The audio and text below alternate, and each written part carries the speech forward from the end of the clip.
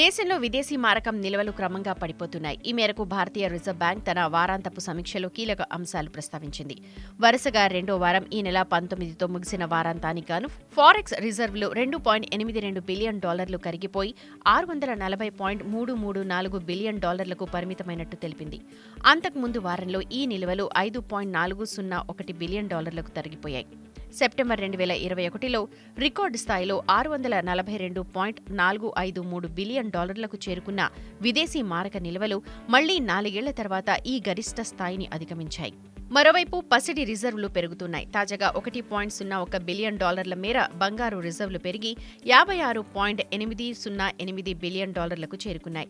ఇటు రూపాయి విలువ పడిపోతోంది. ఇతర అంతర్జాతీయ కరెన్సీలతో పోలిస్తే రూపాయి తీవ్ర ఒత్తిడిని ఎదుర్కొంటోంది. ప్రధానంగా అంతర్జాతీయ ఫారెక్స్ మార్కెట్లో డాలర్కు అనూహ్యంగా డిమాండ్ నెలకొనడంతో గత కొన్ని నెలలుగా రూపాయి విలువ క్రమంగా పతనమవుతోంది.